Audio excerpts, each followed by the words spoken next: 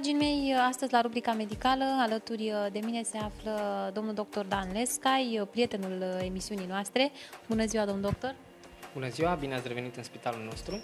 Astăzi aș vrea să vorbim uh, despre mielografie. Ce înseamnă, de fapt, această mielografie? Sigur, mielografia este, în primul rând, o metodă de examinare. Uh, ne ajută foarte mult în uh, a diagnostica și a obține un prognostic sau, mă rog, un diagnostic cât mai bun în ce privește diversele probleme locomotorii ale animalelor.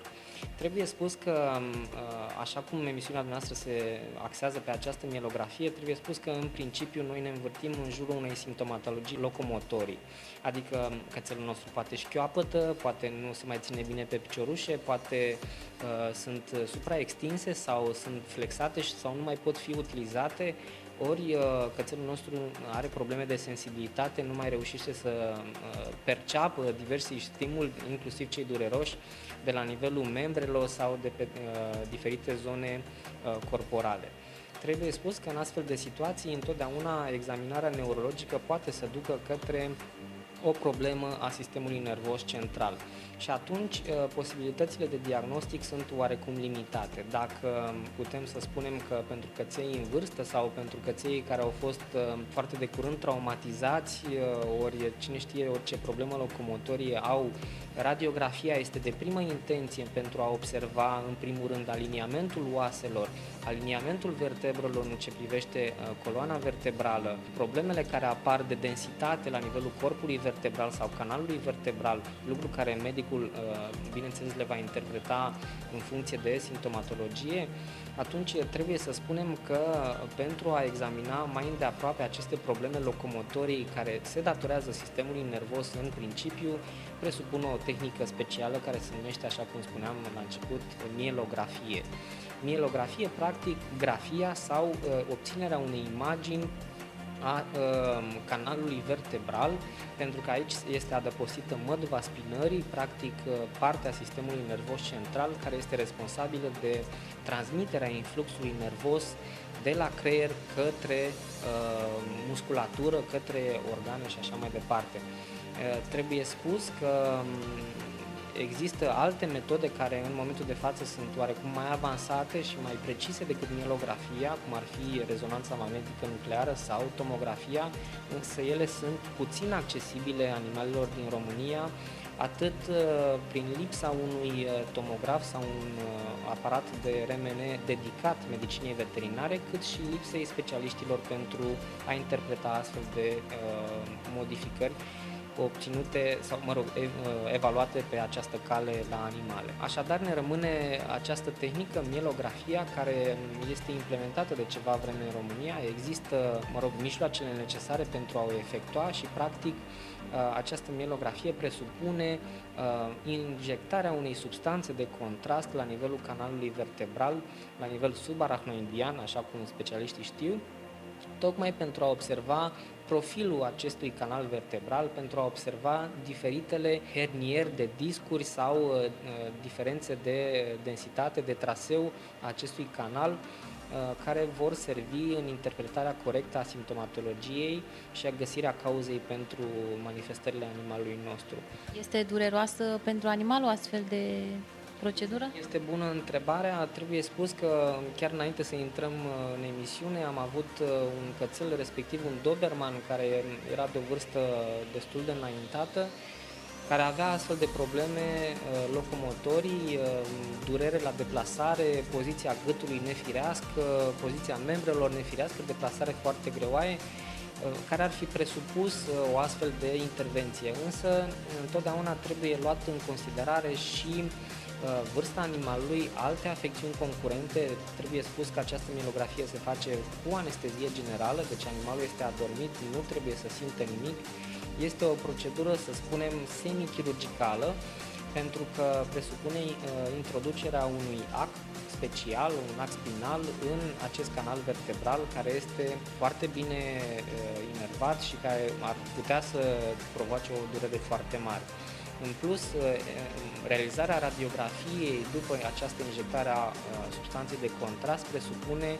obținerea unor imagini foarte clare pentru o interpretare foarte precisă a semnelor obținute în urma radiografiei. Așadar, animalul nu trebuie să se miște, uh, nu trebuie să respire necontrolat, uh, nu trebuie să aibă,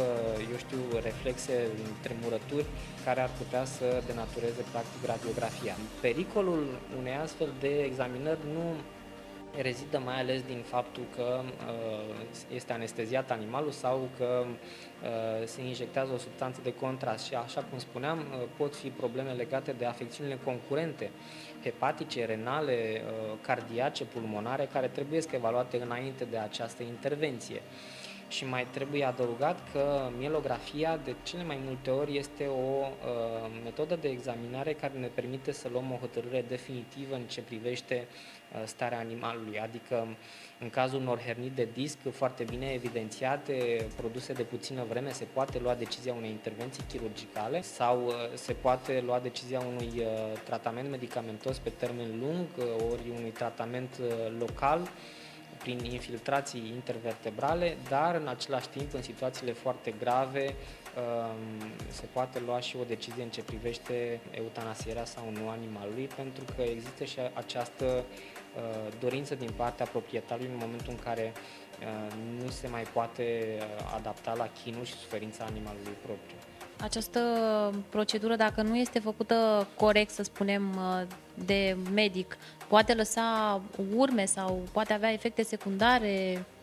Sigur, uh, efectele secundare sunt, uh, așa cum spuneam, mai degrabă legate de alte afecțiuni care sunt în momentul anesteziei și realizării acestei intervenții. Însă, cel puțin pentru mielografia cu injectarea substanței de contrast la nivel lombar, posibilitățile sunt destul de reduse de a exista complicații și din experiența noastră putem să spunem că cele mai multe dintre intervenții s-au soldat cu succes, cu uh, obținerea unui diagnostic, animalele au fost recuperate în starea inițială medicală, da? deci nu este o uh, intervenție terapeutică, mielografia, ci de diagnostic și putem să spunem că este o procedură um,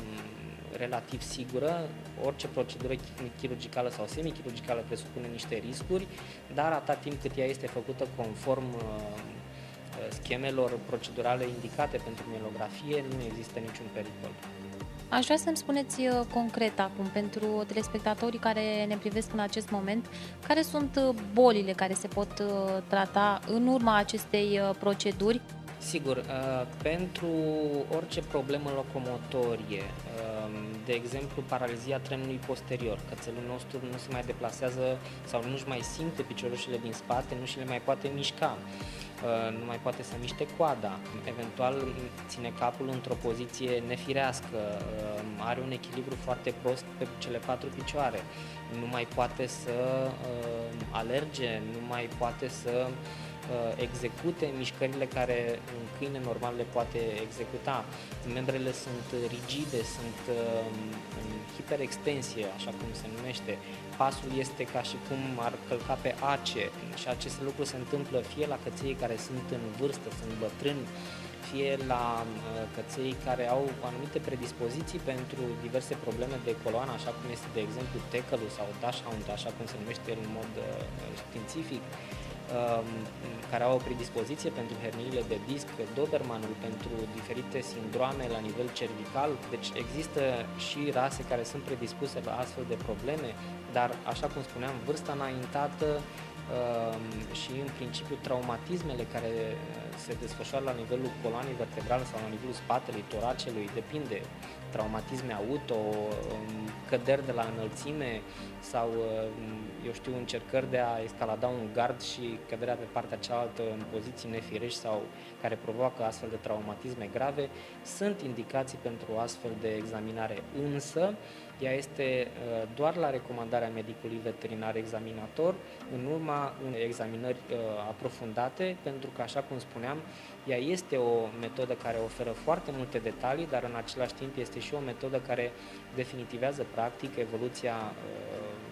animalului din punct de vedere terapeutic, adică se alege ce fel de intervenție terapeutică se realizează în continuare.